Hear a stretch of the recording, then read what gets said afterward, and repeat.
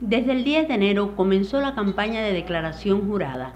Este 28 de marzo, las entidades granmenses cumplieron con el pago de tributos de impuestos sobre utilidades. Se ha cumplido con creces a partir de que eh, el cierre oficial de la campaña de declaración jurada de utilidades, que es la campaña en la que se ven imbuidos todas las empresas nacionales, provinciales, municipales, las bases productivas, en el caso de Granma, dígase eh, CPA, CCS, así como la CNA, que son las personas jurídicas con la obligación de participar eh, con la entrega formal de su declaración jurada y del pago de la misma, correspondiente a los ingresos obtenidos en el año 2021, eh, se obtuvo en el cierre del día de ayer este cumplimiento.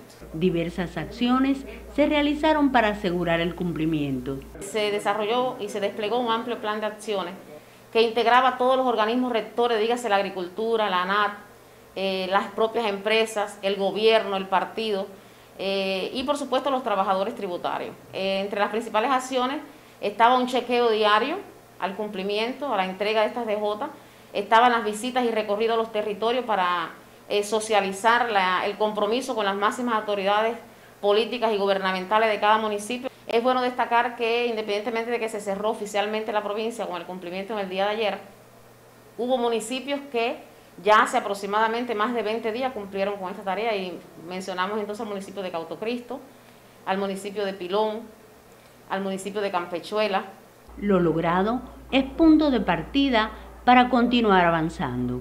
Estamos también en pleno desarrollo de, la campaña de los trabajadores por cuenta propia, de los artistas, de los comunicadores sociales, que también una felicitación para ellos porque fueron los primeros de estas personas naturales en concluir en la provincia la entrega de su modelo de DJ.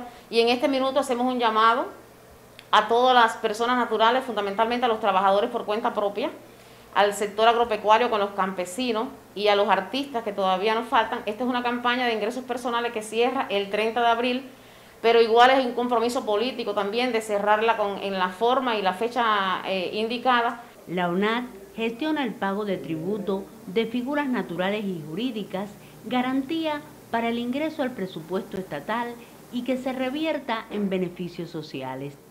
Teresa Armesto, en directo.